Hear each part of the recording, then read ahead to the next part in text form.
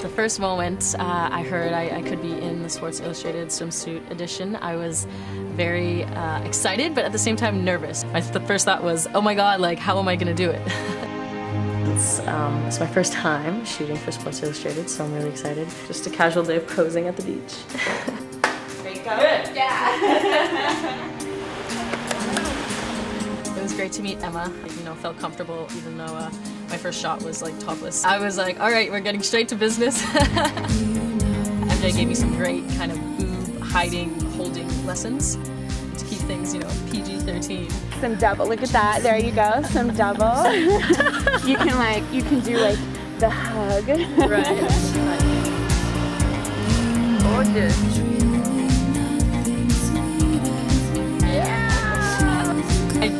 To say I did kind of a little bit like on my bed I was like okay so like if I was on the sand right now you know how would I pose on my knees? What would I do? And you got to get into the mentality of just trying to be sexy on the beach.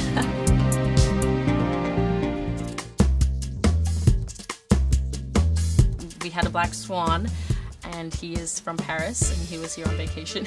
My French lover we just became closer um, during the shoot, and I was standing on him sometimes, giving him kisses sometimes. Um, it was all happening. Very supportive of me.